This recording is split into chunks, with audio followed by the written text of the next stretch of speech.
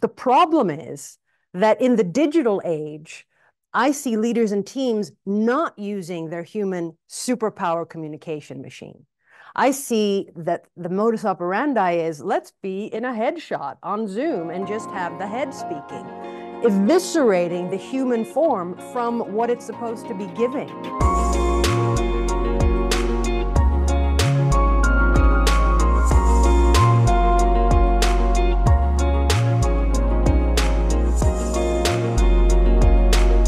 Think it's important to begin with a definition of what leadership communication is first.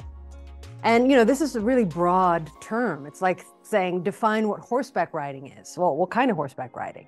Are you racing with a jockey on top? Are you jumping over fences? There are many ways to understand horseback riding. So the same is true with leadership communication. And for the purposes of how I serve my audiences, leadership communication for me is about what is said. So the words, the content, the information, the narrative of what is spoken, and how that narrative or those words are delivered. So it's sort of like a two pronged scenario where leadership communication is the what and the how. And the successful version of leadership communication is about what leaders and teams are doing within this work. So it's sort of like a three piece a three piece element here. So you you've got this work happening in the intersection of leadership, communication, and craft. And the craft, of course, is the artisanal skill based level. So this is actually doing the work, creating that content with the knowledge of the craft of how to do it, the storytelling, the narration, speaking about things that the audience cares about. And then on the how side, the craft element is about, well, what do I do with my presence, my voice, my body, my movement, my connection to the audience? So successful leadership communication is about having leaders and teams who are actually upskilled in this craft, who know how to create that content with a heartbeat and who know how to deliver it so that it stays in the hearts and minds of their audiences, of teams, peers, and stakeholders.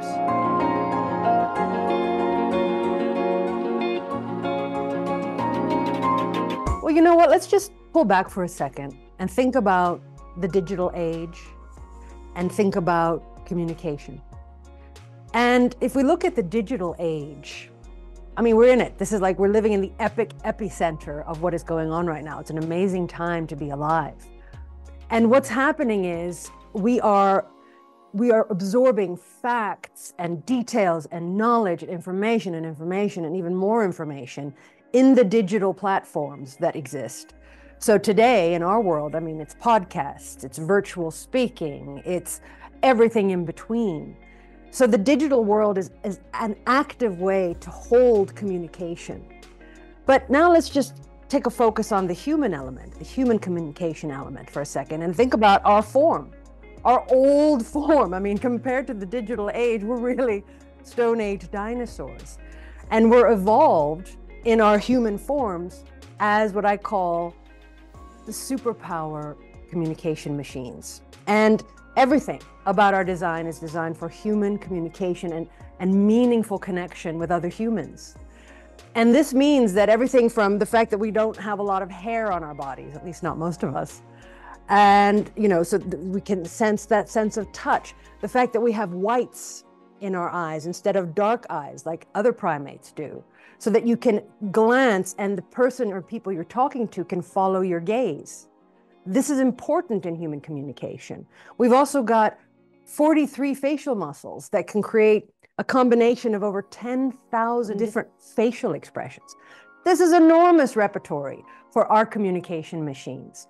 So the problem is that in the digital age, I see leaders and teams not using their human superpower communication machine. I see that the modus operandi is let's be in a headshot on Zoom and just have the head speaking, eviscerating the human form from what it's supposed to be giving. All the micro nuances, the gestures, even the direction of which way your feet are pointing, all this matters in human communication. So, in order for us to be successful, uh, we need to be prioritizing training and upskilling leaders and teams in how to use their full communication instrument. Because imagine that superpower using the digital platforms that exist and superimposing the power of our communication machine together. Now we're talking about impact. Now we're talking about results and reach of the messages that the leaders and teams make to their customers, their peers, and their teams. So that's why it's important to prioritize this work for businesses everywhere in every sector. I think it's important in this question to think about what it would look like if you didn't have leadership communication. So, in a scenario where a leader or a, group of uh, team members don't have this skill, don't have the craft elements of knowing how to create content and how to deliver it. When that happens, well, there they are talking to their stakeholders. And most of the time, this is going to be what I call the talking head problem, which is um, a person who is communicating, but nobody's home behind the eyes. There's a monotone way of communicating. The body is not engaged. It might even be deleted and crossed out because the person is crossing their arms or removing the physical power of the hands, which are a huge communication superpower. So the craft elements are not in operation. And this is this is going to create messaging that, in my words, will leak out of the room that will leak out underneath the cracks of the door. They will not stay in the hearts and minds of the people, the customers, or the individuals that the person who's speaking wants to reach.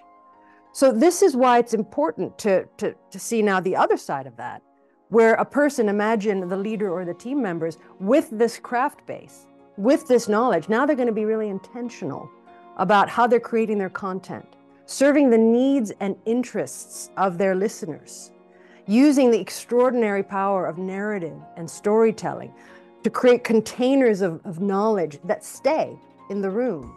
And most importantly, that reach the hearts and minds of the listeners. So there you're building trust. So there you're increasing engagement. So there, the inspirational message that you have and that you've worked so hard to develop is actually firing up and motivating your listeners to do something different, to feel something different, and to think something different. And this is why it's important to think about having these skills as an asset for every business who wants to communicate effectively using leadership communication.